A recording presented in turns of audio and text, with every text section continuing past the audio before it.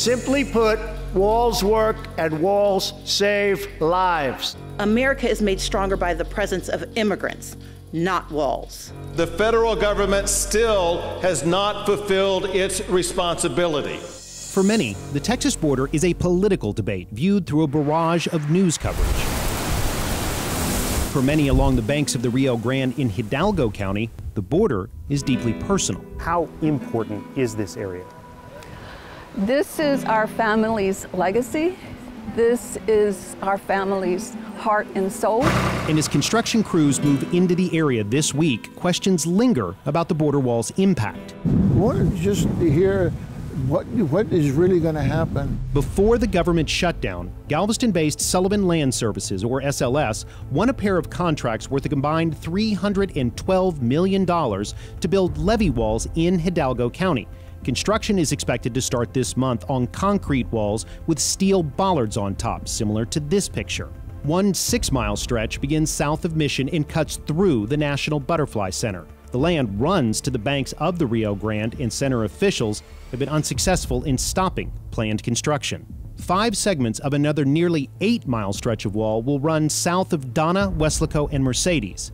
In between these projects, it has a history to it, is the Eli Jackson Cemetery in Jackson Ranch Church.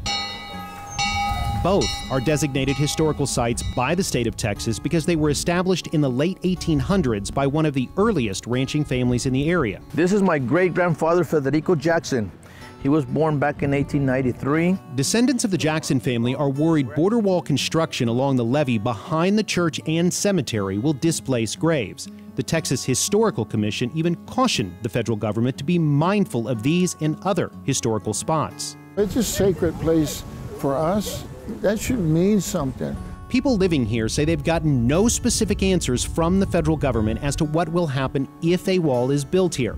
Customs and Border Protection told Channel 2 Investigates the cemeteries in question are not located within the levee wall project footprints, which are targeted to begin construction in February. That doesn't mean that we're not going to be affected sooner or later. When we asked about future construction plans beyond February, we got no comment. That's the thing we just don't know.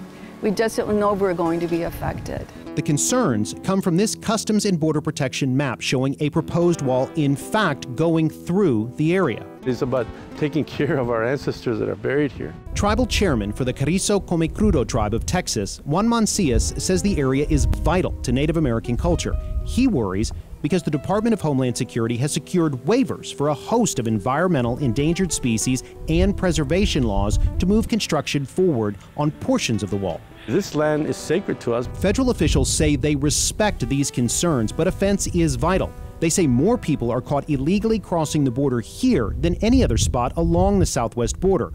More than 162,000 people last year, along with thousands of pounds of drugs. Mancias and other residents are undeterred. They set up camp and put on a pot of coffee in the cemetery and held marches at the Butterfly Center to protest construction. Do you plan to stand in the way of construction? We're, we're, we plan to, to video everything that they're doing. We have a right as citizens of this country, but we're here. We're not going anywhere. We never left.